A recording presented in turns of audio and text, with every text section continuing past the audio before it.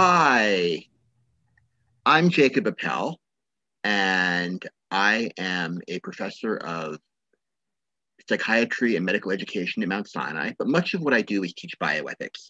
And what I came to talk to you about today are COVID ethics and particularly resource allocation in times of crisis, which is what I study. Um, and the two questions I want to look at today are how should healthcare resources be allocated in non-crisis situations to give us a little bit of a baseline? And then more importantly, how should this calculus change during a widespread emergency like the COVID-19 pandemic? So bioethics is really about asking the right questions. Um, and some of the questions we should have been asking all along, the COVID epidemic has forced us to ask. We should ask ourselves why we haven't asked them earlier. Before I get to the hard questions, I want to tell you a joke. And I tell you in advance that it's a joke because I'm a bioethicist, not a comedian. If I didn't tell you that, you might not know. But it serves a pedagogical purpose. So, two professors retire from Mount Sinai and they go off to Yellowstone National Park. And on their first morning there, they decide to go for a hike. And the ranger comes out and says, I have to warn the two of you. There are bears in the woods and a bear could eat you. And the first Brown professor says, first Sinai professor says, not too much to concern about. And we've dealt with Mount Sinai students, we can handle a bear. Second Mount Sinai professor says, give me a moment, goes back to his cabin, returns a few moments later with his Mount Sinai running shoes and his Mount Sinai jogging shorts and his Mount Sinai cap, and he's ready to run. And the first professor says, Are you out of your mind? You can't outrun a bear. And the second professor says, Of course not. But now I can outrun you. And that's the general principle of how bioethics works. We're not going to get to an ideal answer. We're going to get to the least worst answer under the scenario. So resources come in three categories. There are hard scarcities, things like solid organs or pediatric neurosurgeons, things that overnight we can't create more of. There are soft scarcities, like the amount of money we spend in healthcare. And in theory, we can generate more revenue, we can raise taxes, we can cut spending in other areas. And then there are evaporating or conservable resources, like antibiotics, which means up to a point, we can use them widely with efficacy. And then at some point, pathogens develop resistance and we can't use them anymore if we overuse them. Most of the scarcities in the context of COVID are hard scarcities. They are things like ventilators, ECMO machines, PPE, items that we can't generate in large quantities or in bulk quantities at the speed we need them. So I want you to think back a second to non-crisis times. In case someone is watching this in future years, this is year one of the pandemic. And for those of you who don't remember, on the upper right, that is a band at a concert. On the bottom right, that is a restaurant. On the bottom left, that is a sporting event. These are things you will explain to your grandchildren someday. In the world before the pandemic, there were three kinds of allocation. The first kind of allocation is macro allocation at the largest level. This asks the question, how much money do we spend on healthcare as a society versus other elements in society?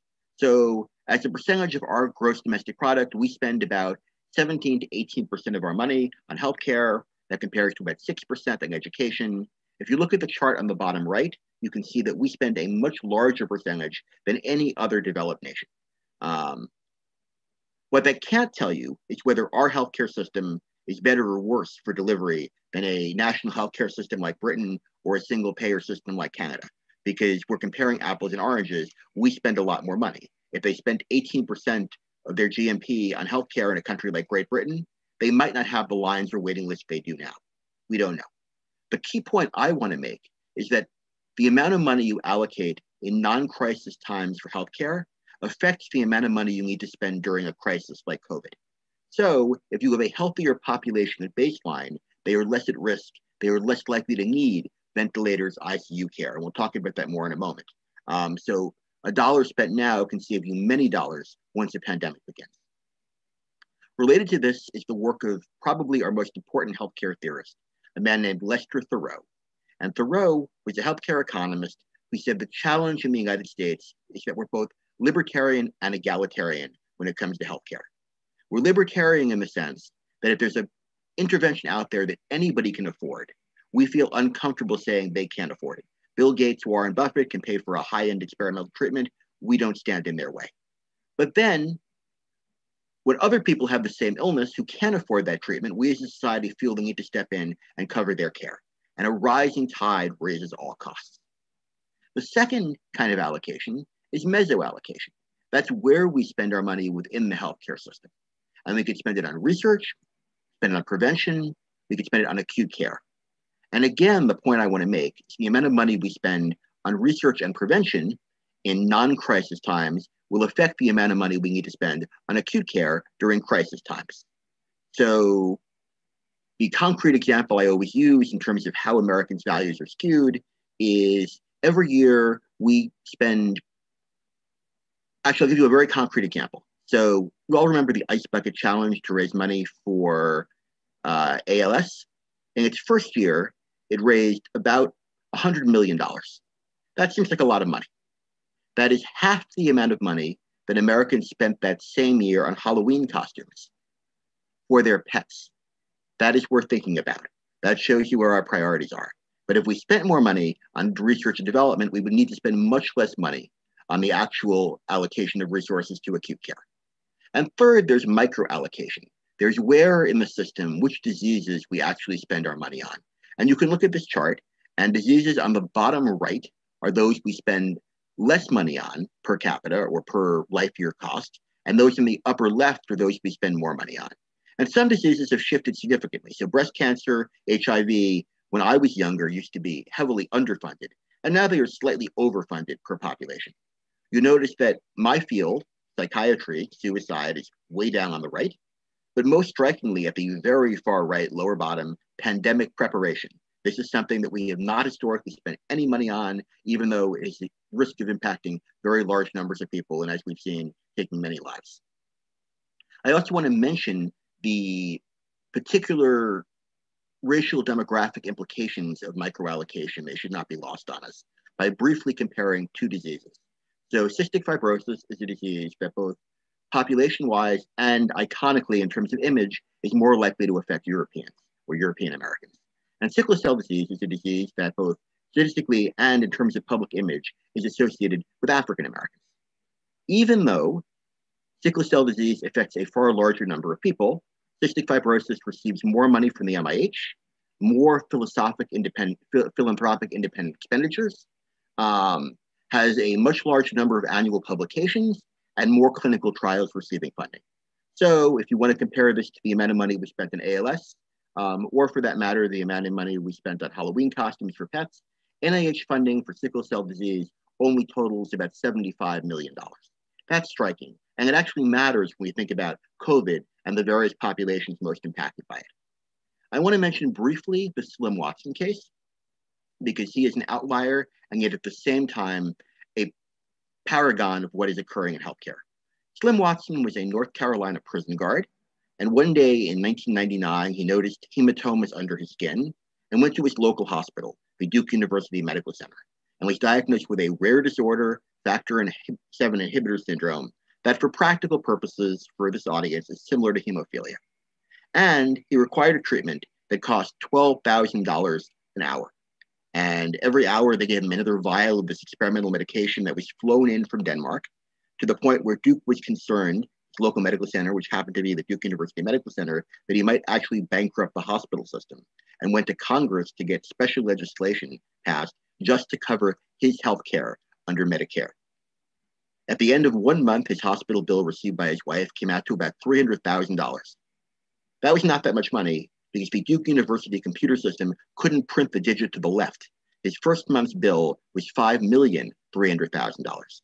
And the question you want to ask yourself is for those of you who believe in some form of universal health care, is there a point where we cut people off, where we say, you've exhausted your supply and the $5 million a month you cost could be spent on a very large number of mammograms or flu shots and save many more people? This is becoming an important question in relation to very expensive drugs. So if you look at the world's most expensive drugs in the year 2013, um, these are drugs that if I prescribed, I would probably be fired by the hospital on the spot but they are available for rare conditions. And then Zolgensma came along. Zolgensma is a Novartis drug for SMA that runs $2.1 million per dose. You should ask yourself, should we spend $2.1 million on anyone's healthcare?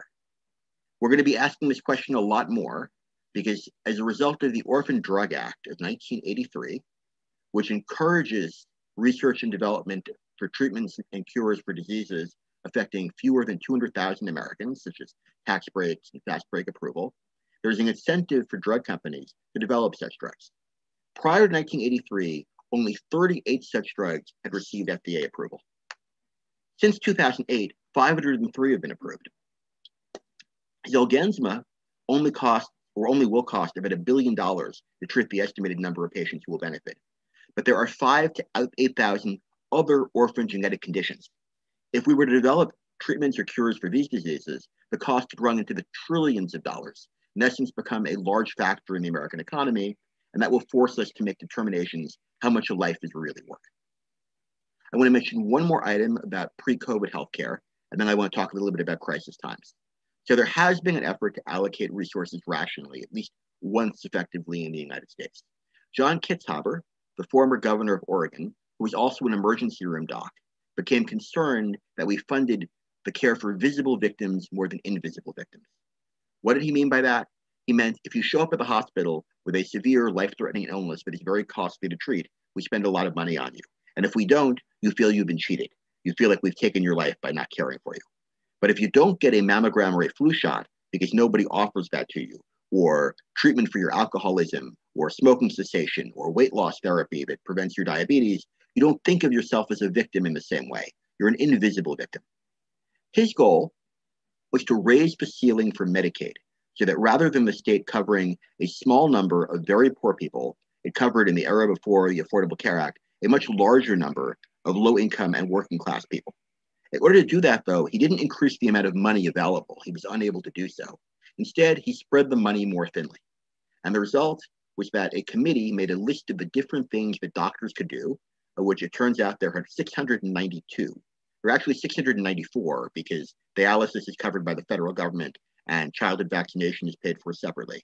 And then prioritize them those that were most cost effective and those that were least cost effective.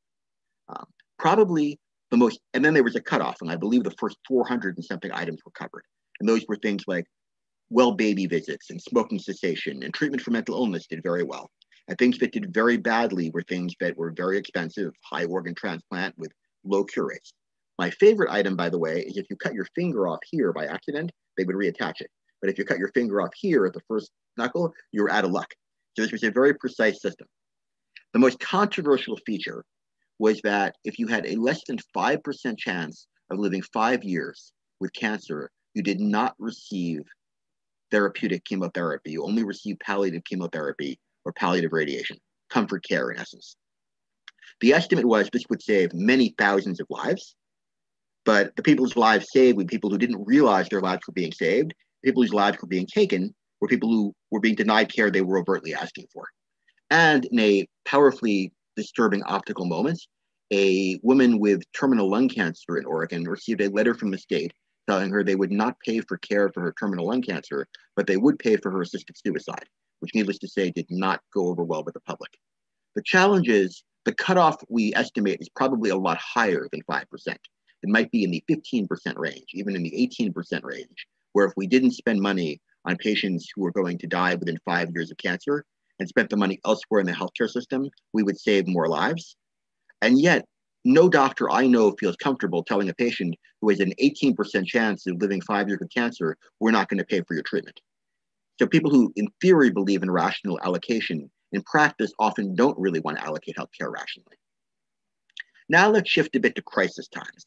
What do we do in terms of allocating resources during a crisis?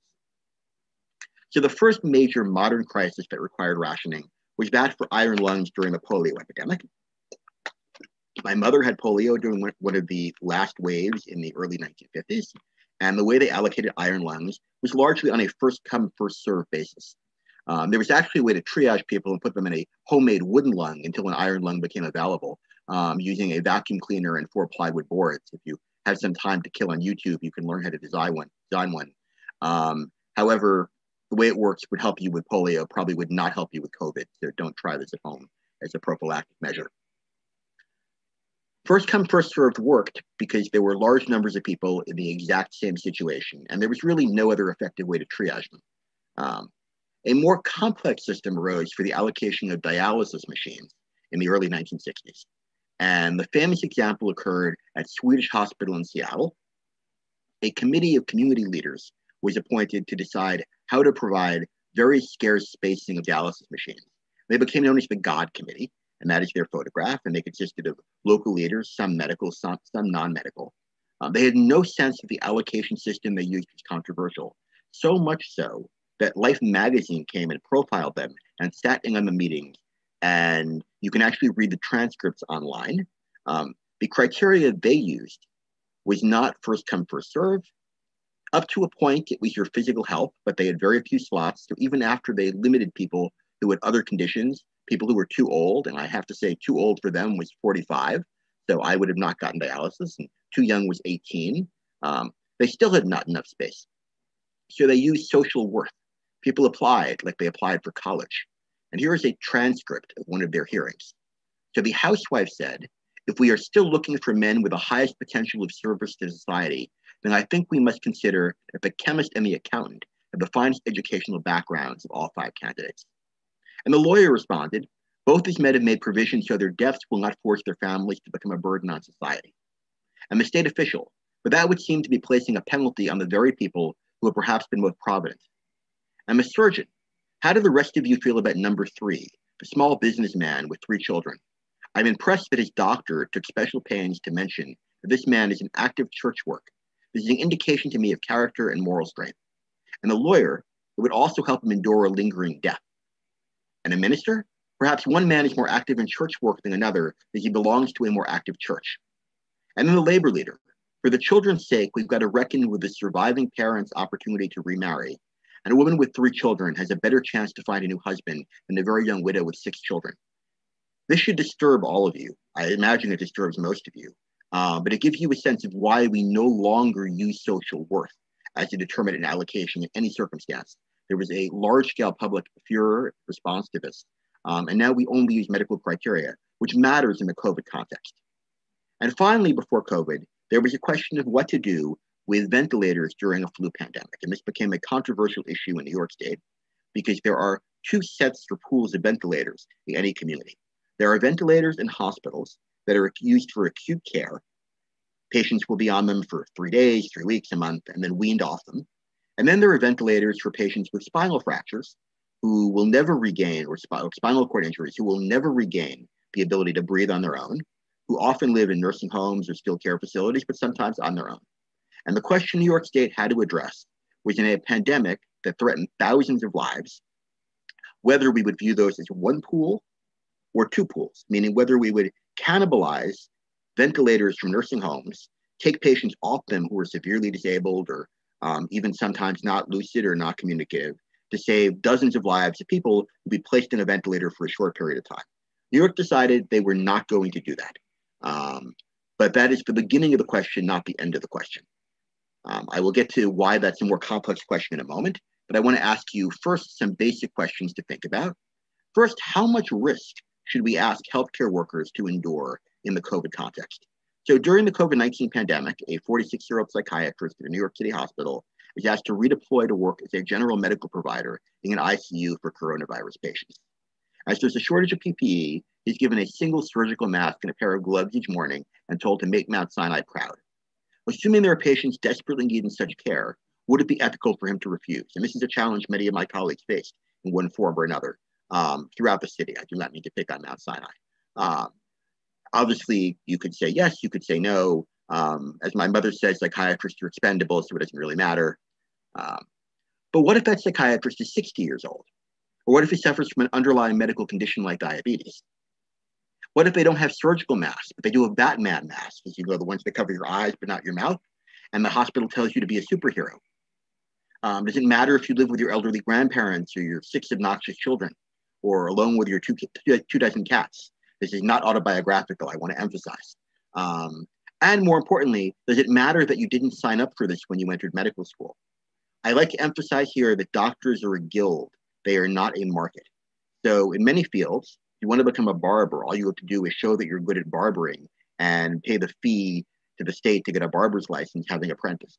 There's an unlimited number of barbers, limited only by the amount of hair out there. And the same, in essence, is true for lawyers, for business people. the state and the government artificially set the number of doctors low to keep reimbursement for doctors relatively high and possibly to keep quality high. So, in essence, doctors are much more like taxi medallions or liquor licenses. They are fixed in number, and that may require an extra obligation. So, back to our spinal fracture case. So, it's easy to say, or relatively easy to say, that if patients are already on ventilators in long term care facilities, you're not going to take them off those ventilators, in essence, kill them to use the ventilators elsewhere. But what do you do with patients who come in and need a ventilator for a spinal fracture? You're at the height of a pandemic of COVID, and you have numerous sick people who will need ventilators for a short period of time. And then you have a patient who shows up at the hospital after a motorcycle accident with a C3, C4 spinal fracture, which would require them to have a ventilator for life, and in essence, take that ventilator out of the pool. In times other than a pandemic, that's an easy question. Of course, we would give them the ventilator. Whether we do so now is a much more challenging question. Similarly, should we offer life saving or life prolonging transplants during a pandemic? It's worth noting that the average liver transplant patient spends 11 days on a ventilator post surgery. Do you want to take a ventilator out of the pool for 11 days, uh, which will cost someone else their life? Do you want to take a ventilator out of the pool for an immunocompromised patient who may be even at higher risk of COVID. On the other hand, do you not want to steward that organ that someone has been waiting for for a long time? Third, you have to ask yourself how we allocate resources between COVID care and non COVID care on a broader diagnostic level or surveillance level. So, at a number of hospitals in New York City at the height of COVID, clinics from other fields were converted into COVID care, and the doctors redeployed to providing acute care for respiratory patients. So if you have an ophthalmology clinic that does screening eye exams for high risk patients, some of whom will go blind if they're not screened regularly, how do you balance the risk of blindness in some patients against prolonging life in other patients? Which is a question we had to answer. So there are a couple of guidelines that have been established that are worth thinking about. Um, and this is in the context of the assumption that ventilators will prove useful in COVID care. There were early studies that showed they actually might not be that, that useful. Um, so, at a major study at LIJ early on in the pandemic, 88% of vented patients died. Five additional percent never got off the vent. Um, the numbers are better than that, but your prognosis if you end up in an ICU and a ventilator is still not great. Um, it is still fairly grim, and some estimates are up to 50% of those patients don't get off the vent. Um, but assuming ventilators have the value we think we do, what system should we use to prioritize them? So there are a couple of different systems we could use, and then I want to point out what I see as the major problem with them. So one possibility is we can use short-term prognosis. What is your likelihood of getting off the ventilator and surviving this particular interest, this particular incident? The second question we could use is what is your overall life expectancy? So if you have a strong prognosis for recovering from this particular pandemic, but you have other underlying conditions that make your prognosis grim in the long run, how do we weigh those two? Closely related to that, um, and a model that was proposed by Professor White and others, um, takes into account your stage of life and says everybody should have an equal opportunity to pass through every stage of life, and therefore priority should be given to children, young people who have many more stages of life ahead of them. There was a backlash, of course. Elderly patients said, My life is worth just as much as a young patient's is. And we are at an impasse, in essence, in that debate. There's also been considerable debate about one's value during the pandemic. And the two areas this comes up, thinking back to my debate about social worth, by the way, are one healthcare workers. Um, should we give healthcare workers prioritization for ventilators? If one, they're more likely to return to the workforce, so we'll be able to help more people, which is possible, but less likely in the short term. And two, if it creates an incentive to keep healthcare workers in the workforce, so they take risks to provide COVID care for others. And secondly, and I wrote this lecture before yesterday, before the president was diagnosed with COVID. This is meant very much to be an apolitical comment. Um, but at the height of the COVID, first wave of COVID in the in March and April, there was a debate in a number of states, particularly Virginia, over whether political leaders who might be needed to steer resources, to manage the public, to provide reassurance during the pandemic should be given priority for certain interventions. One of the most notable of these is ECMO, um, extracorporeal membrane oxygenation, which was, is a salvage remedy after ventilation fails and was thought to be helpful in COVID. And they're unlike ventilators, which most hospitals have dozens or even hundreds of. Most major medical care centers only have a handful of machines. should these machines either be given to high profile political figures or even held in reserve for them? This became an issue in Great Britain. Boris Johnson was taken to one of the handful of medical centers in Great Britain that does have ECMO available, and the media made note of this when he was cared for. What role should pregnant women have in the process? Do they count as one person or two people? Um, was a heated debate in a number of protocols. And now the concern that I have, um, much of my interest is in equity in healthcare. And many of you are probably aware that for what we assume to be non-biological reasons, for sociological reasons related to um, social determinants of health, low-income communities, African-American communities, Latinx communities have higher rates of COVID and higher rates of hospitalization and severe COVID. They also, as a result, have a poor prognosis more than well-off and Caucasian populations do. So the question that arises is, should we use these particular allocation systems that penalize people for having underlying conditions that are a result of existing healthcare inequalities. In other words, you get what the game show used to call a double whammy. We give you substandard healthcare for your entire life. So your diabetes becomes brittle, or you live in a food desert and therefore you gain weight and therefore have high blood pressure. And then we use a criteria during a crisis time that says because you have these underlying conditions that society has set up for you, we're less likely to save your life if your prognosis is poor. That is a, a deep problem in any allocation system, but the solution for it is also very challenging. Um, whatever one's political views, my guess is it is easier to grapple with the benefits, not endorsing it, but the benefits of a holistic review or affirmative action system in a setting like employment or a setting like education than it is in a setting like ventilator allocation. A system that says, because you've been treated in a certain way by society, we want to give you a leg up to treat you equally in education, many people find palatable. A system that says the same thing when it's a one to one trade off in ventilators or ECMO machines, I can tell you from experience in the hospital, a lot of my colleagues find much more unsettling. And there's no easy answer to that, but it's something worth thinking about. And I want to just emphasize briefly that you will see that COVID and COVID severity correlate very deeply with entrenched lines of race and economics that date back at least 90 years in the United States. So these are the red line neighborhoods where African Americans had a hard time buying homes, um, or the red line neighborhoods and the green ones are the ones where African Americans were largely shut out um, in the 1930s. And you see this applies to school segregation in New York City today, um, income and life expectancy today, where bank branches are located today, where COVID cases occur today. It's one long continuum. So the neighborhoods you will see in dark blue are neighborhoods with um, high percentages of African American and Hispanic populations, and they're also the neighborhoods with the highest rates of COVID in New York City for the most part. Here you get the same map with the COVID cases. I mention all this because you would think the population decline in these neighborhoods would have been the highest in New York City, but it wasn't. Which neighborhoods lost the most population? The exact opposite neighborhoods. Why? Because all of the well off individuals left the city 420,000 upper middle class and wealthy New Yorkers left the city for various high-end locales. Many of them have not returned. I will mention briefly one other crisis that occurred in the context of COVID. How do we handle withdrawing patients from ventilators? In normal times, if you're on a ventilator and your prognosis is poor, and we have an unlimited number of ventilators, we let you decide when you want to come off. On the other hand, if we know that your prognosis is terminal but you're going to linger on that ventilator for weeks or months and not recover. And we have patients who could survive with that ventilator. Is there a mechanism for removing you? And currently there isn't. I mention that because having a mechanism for removal over the family or patient's wishes actually might save more lives, including that patient's, because doctors may be less willing to place a patient like that on a ventilator at the outset, knowing that they're not going to be able to remove them. Related to that was the issue of whether or not and to what degree patients in the field at the height of COVID should be brought to the hospital. And New York City adopted a rule that if EMS could not get a pulse in the field, they would not bring patients to a hospital. Um, they reversed the policy imposed for a brief period during COVID that said that people who were arrested in the field shouldn't be revived. And there were also proposals there should be UN, universal DNR orders for all patients with COVID, though those did not gain much traction.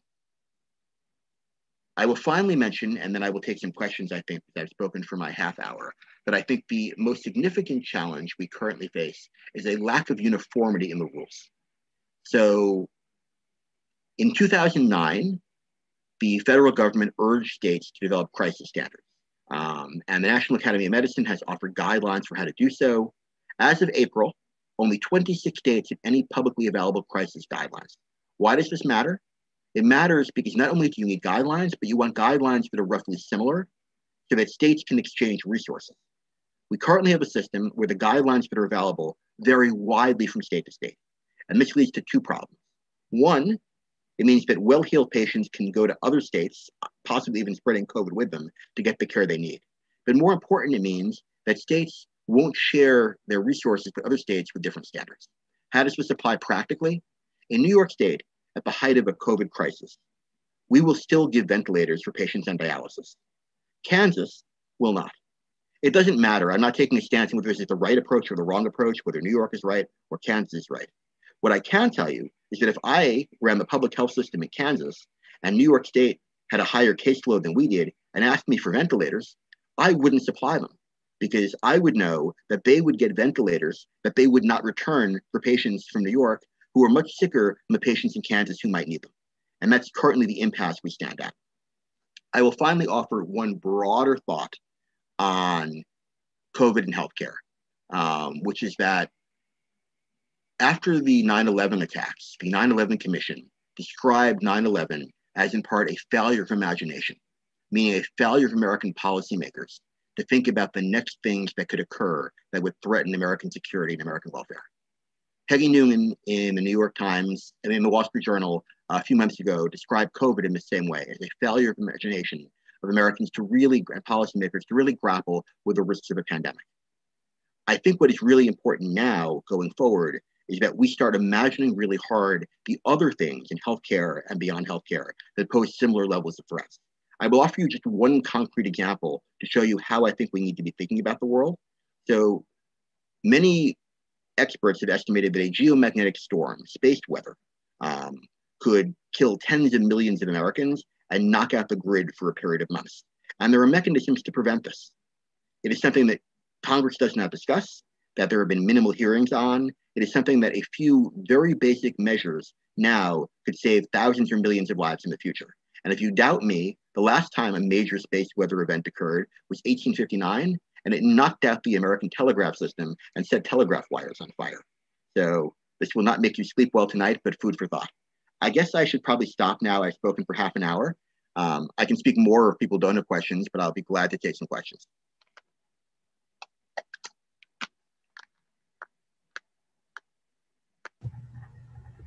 Jacob, we don't have questions on on the YouTube chat.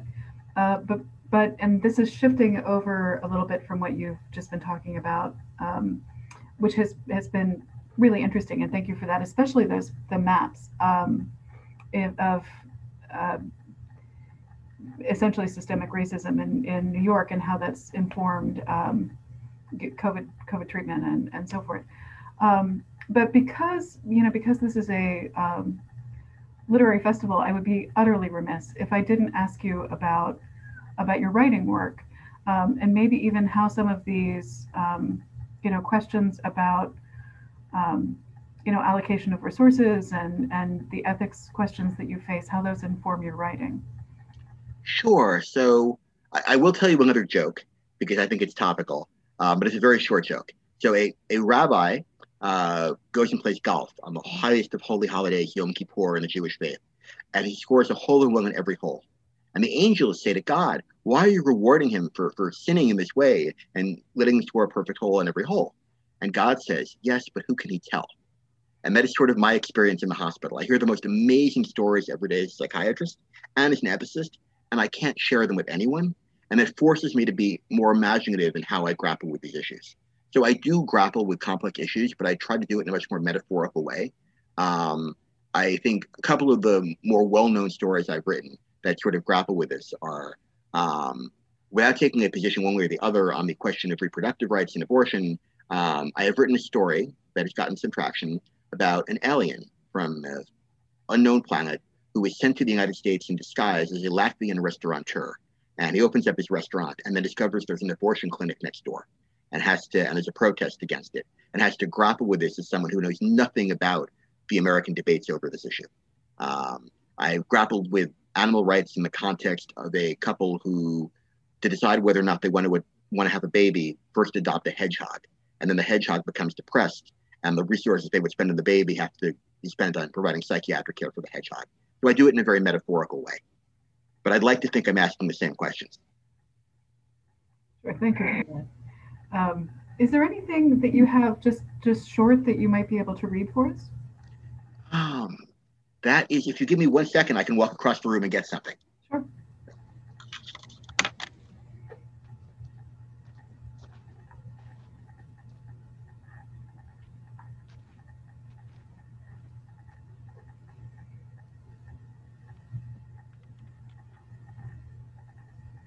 Since it's topical, I will read the opening few lines of a hedgehog story because that seems a popular piece. It is called La Tristesse des Hérissons, which I am told, though my French is abysmal, is the sadness of hedgehogs. We'd been living together for eight months when we adopted the hedgehog. I'd wanted a German Shepherd or a Doberman Pinscher, a fearless, intimidating animal that could accompany me jogging in the park late at night. Adeline wanted a baby.